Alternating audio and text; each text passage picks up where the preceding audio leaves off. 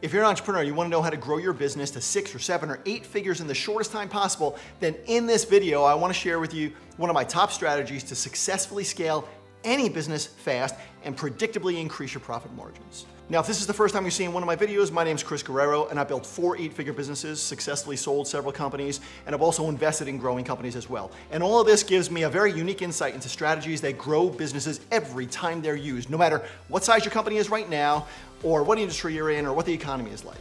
And I want to detail one of the best strategies we've used to scale companies fast, and it costs far less and it takes far less time than most of the really old tactics that you read about in books. But before I do that, please subscribe and turn on the notifications so that you're notified whenever I post a new video. Now, one of the simplest ways to scale any company is using a process called lateral expansion. It's not easy, but it's simple, meaning that if you follow a proven system like what I'm about to show you, you will get results. And when I'm talking about lateral expansion, those results could collapse time frames and help you scale more in one quarter than most companies scale in a decade.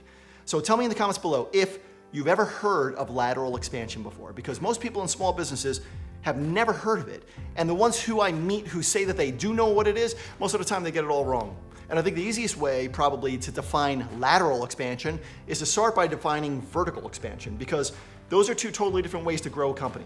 Vertical expansion is the basic price of entry in business, right? It's it's what most every other business uses and they focus on when they want to grow. They focus on increasing prospects and, and sales and lifetime value of customers. And all those things are vital pieces of scaling a company but they all cost a lot of money and they take a bunch of time, right?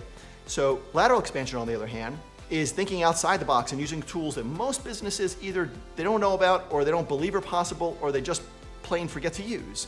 It's kind of like vertical expansion might be the firewood that you need to keep throwing on top of a fire over and over and over again to keep it lit, meaning you always have to keep marketing to new customers in order to stay alive in business. But lateral expansion is like throwing gas on your fire and experiencing dramatic growth in a shorter period of time. Like scaling from 1 million to 2 million or 2 to 10 million or 10 to 30 million dollars. And if you do it right and back that growth up with systems, then that new level of revenue is now your new low level of revenue, right? So to scale at the rate needed in today's world and to maximize profits, we need both vertical and lateral expansion. And there are several ways that we've used lateral expansion to scale companies in my portfolio over the years, but the three most common for us, I wanna go over right now. First is acquisitions, and if you wanna know how to grow your business using acquisitions, we shot a video not too long ago, probably a couple of months back, showing you step by step how we acquire companies and exactly how we handle the negotiations to acquire those companies for far less upfront costs, right? And if you haven't seen that video, just do a search on YouTube for my acquisitions video. I forget what the title is after you watch this one, but there's two more very important forms that you need to know about before you go and do that.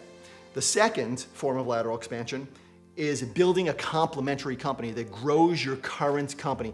And I haven't shot a video on that one yet, but if you let me know in the comments that you want that information and enough people go ahead and say that they want information on that, I'll shoot one. And I'll also show you the paperwork that we used, and then I'll post it all here. But basically, we literally segment a department out of a company that's already very successful. That department is super successful. We separate it out of the company, making it its own entity, and we leverage both companies to scale each other. So in the end, instead of having one profitable, successful company, after 12 to 18 months, you have two even more profitable, successful companies because they both support each other's growth. Now, when talking about how to grow your business, the third most common form of lateral expansion that we use is adding a branding asset that massively increases your reach. So instead of reaching thousands of people a day with our message, we might reach millions a day for a week or a month or a quarter. And that's pretty freaking amazing for most companies.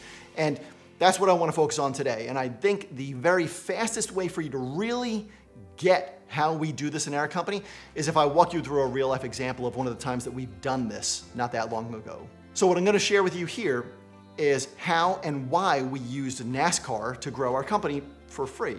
And I absolutely understand that you might think that you're not in a position to leverage NASCAR. But I have never been in an industry where there weren't gigantic, unbelievably big opportunities that people were just passing by because they weren't thinking outside the box and thinking in a bigger way. So keep your mind open. And my guess is that in a few minutes, you'll think about at least one way to leverage this concept to scale your company this quarter. Now, several years ago, I was a partner in a social community called Health Life. And one of our main products was a paid online community. And I remember sitting in a meeting with our leadership team and looking at the company's targets, right? And I, we were brainstorming on ways to hit those targets. One of which was the target of having 20,000 new members in our paid community. And we had just such a small budget to make that happen. But every single person at that meeting knew that if we reached that target, it would mean several hundred thousand dollars in new revenue for that company every single month that it would come in.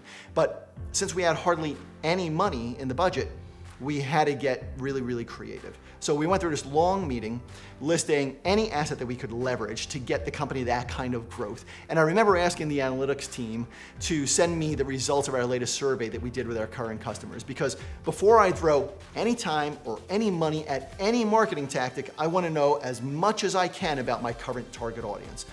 And that survey showed us three main things. First, 41% of our current members were engaged in some form of personal development.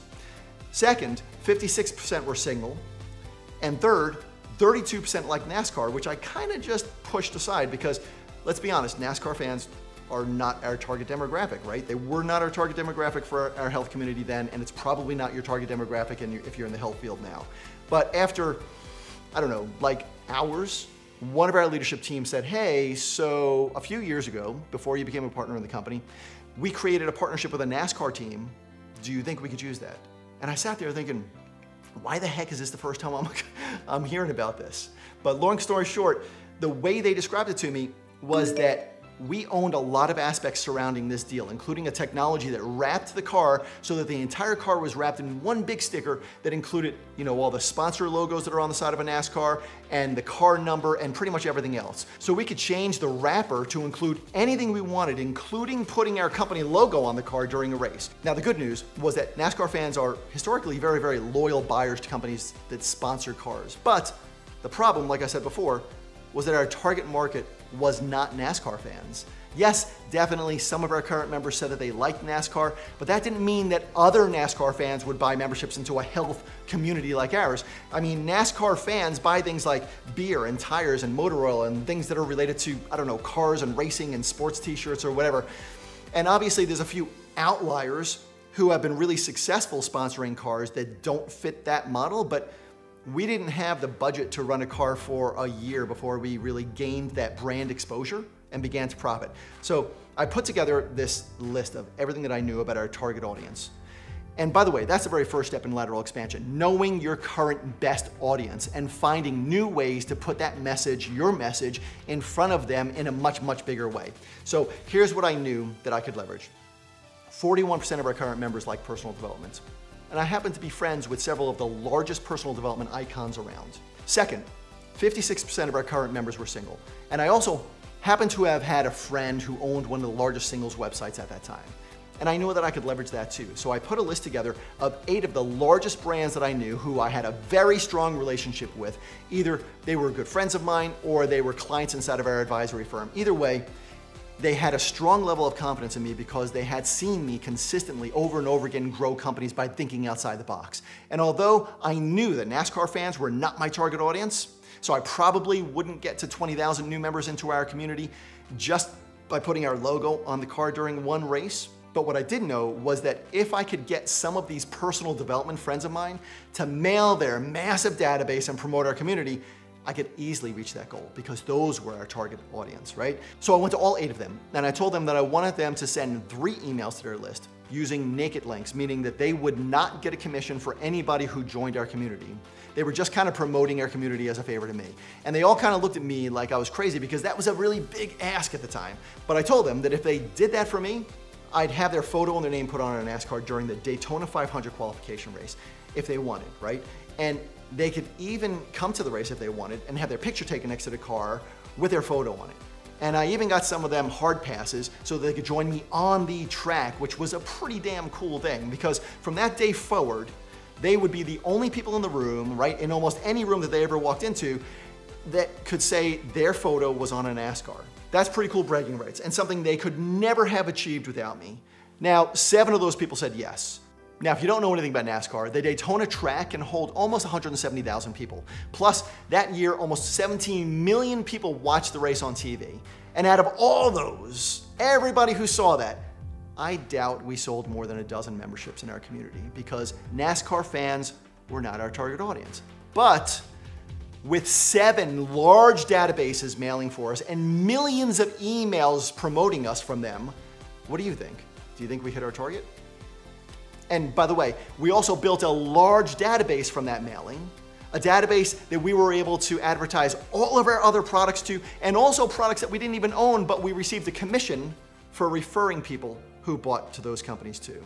So we used an asset that we already had access to, and we created a win-win for some key relationships in my life with no money out of our pocket. And we exceeded our expectations by adding a branding asset, the NASCAR, that massively increased our reach and put our message in front of a far larger audience that did not know us before. Not NASCAR fans, but rather all the loyal followers of our personal development friends who promoted us.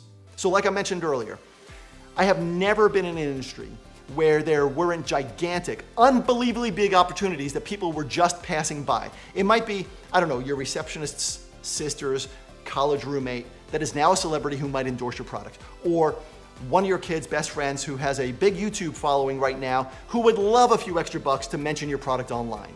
See, Lateral expansion begins with thinking outside the box and opening your mind to the possibilities that are right around you. Remember, I had no clue that we had access to a NASCAR until I dug deep during a team meeting. And we've done this kind of out of the box marketing, this lateral expansion, many times in every single industry that I've been in and done right. It's always like throwing gas on the fire and accelerating our growth. So think about how to grow your business. What's one big opportunity or asset or relationship that you could leverage to put your message in front of a massive audience, far bigger than you can right now? Now get creative and then share your ideas with me below. And then look at what others are sharing and help them to think bigger by plussing on their ideas. And be open when somebody else adds to your ideas in the comments too, because the more people who you brainstorm with, the bigger your idea is gonna get. And heck, we have a great community here. Someone in this community right now in the comments might introduce you to a big name who might endorse your product. We have big movers and shakers who watch these videos, some amazingly big CEOs, pro athletes, actors, and most of them understand that they grow by helping others. So share your idea and then take a minute and comment on somebody else's idea. Also, if you haven't subscribed to the channel yet, do it now because we're gonna be giving away a $5,000 business strategy meeting with me, but you have to be subscribed to be in that drawing. Subscribe now and then share your insight on how you too can leverage lateral expansion to grow your company. Then check out the description for a link for more tools to help you think outside the box and grow.